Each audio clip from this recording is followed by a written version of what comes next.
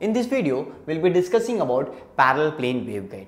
Now, first I should understand what is a waveguide. Waveguide is nothing but the guiding structure, right? So, my purpose is to guide the wave from one point to another point. Let me draw this. Let us say that I have two plates here, okay, and I have an EM wave. So, I want the EM wave to hit between the plates and reach the point, right? So, it will be like to and fro motions, right? So, it will hit here, reflect back, again it will hit here. This process will keep on going and it will reach the starting point to the end point, right? Now, one may ask how this will be done, right? How it is possible that without even losing energy because we said like when you want to create a waveguide it will not lose any energy right so one may ask that how it is possible that it will not lose any energy right let's understand this now let's assume this is one part of the plate right and I have an EM wave for which let us say the electric field is like this and magnetic field is out of the board and it is propagating right. So, it is like this it comes it hits and it goes right. So, if I if I take my right hand rule okay and if I point this the middle finger should point the electric field middle finger should point in the direction of magnetic field and this should be in the direction of propagation. So, can I see that you see this is how it is happening right. If it hits here again it reflect back this is what is your direction of propagation right. So, again this is like this right. So, it you see magnetic field is outside the board electric field is like this it will hit this again when it goes like this what will happen the electric field is in this direction right. So, your electric field will be like this again right magnetic field is still outside right magnetic field is still outside and this is what is propagation right. So, you have E you will have H right again you will have something right this is how it is happening. Now, the next question comes why this wave is not losing its energy right. Now, the thing is if you want the wave to not lose any energy you have to, the distance between these two plates is some certain amount of distance. So, if this distance is is m lambda by 2 cos theta. If the distance or the spacing between the plate is equal to m lambda by 2 cos theta, then what will happen is this wave, this is nothing but it will satisfy the boundary conditions, okay, such that it will not lose any energy. So, we are saying that if the spacing between the plates is m lambda by 2 cos theta, then it will not lose any energy. One may ask what is this m? m is nothing but this discrete numbers. So, if you want to make a waveguide, either if I take m equal to 1, the distance between them should be then for m is equal to 1 is lambda by 2 cos theta, right. One may ask if I want to make with m is equal to 2, that will be another structure, right. That would be another structure which will be nothing but lambda by 2 cos theta would be nothing but your distance between the two plates, right. In that case also the wave will not lose any energy, okay. One may ask, so it means that if the spacing between the two plates is equal to m lambda by 2 cos theta, okay, then if I, if I send the wave or launch the wave, it will not lose any energy.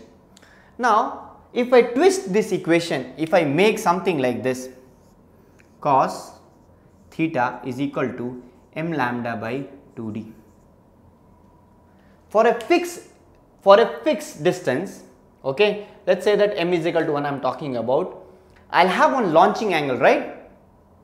Right? I have what I am saying is now if I fix the distance between the plate I can launch with for the certain values of m because m you can change it. You will have certain launching angles right? If the d is fixed m you will change it. It means you will have certain launching angles right? To which if you launch then the wave will propagate along the waveguide and it will not lose any energy right? This is the second important thing to note. Okay. So it will not lose any energy. Now what is this? If you are launching a different different if you are launching at different different angles right? So, it will have or you are launching from different distance. Basically in this case it is the distance between the uh, the waveguide or the plate is lambda by 2 cos theta. Here it is. Uh, sorry in this case it would be lambda by cos theta right? 2 2 will get cancelled. So, in one case lambda by 2 cos theta another case lambda by cos theta. So this when you are launching for different values of m, you will have different launching angle or the distance between the plates. This is what for the different values of m, you have different combination. This is what is called as modal propagation. So this is what is called as modal propagation. Right? This is what is called as modal propagation. Okay, so I understood what is a modal propagation.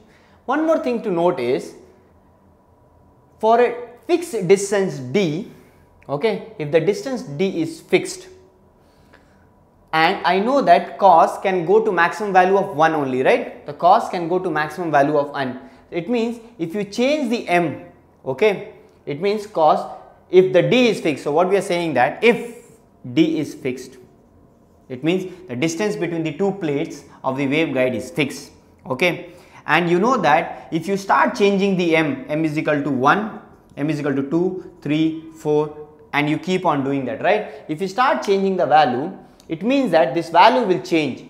But you know that cos can go to maximum 1 right? The value of cos theta is maximum 1 right? It means there will be a finite number or I can say that there will be finite m exist right? Finite m exist right?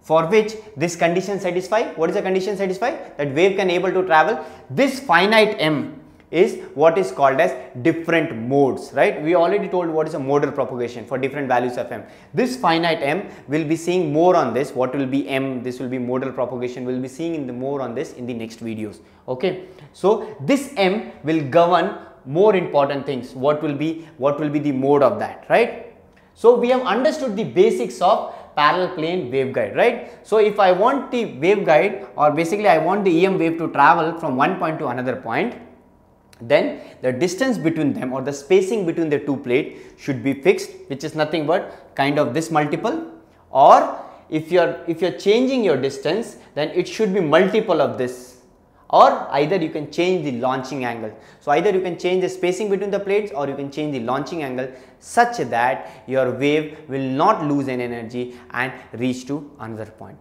We will see more on this in the next videos.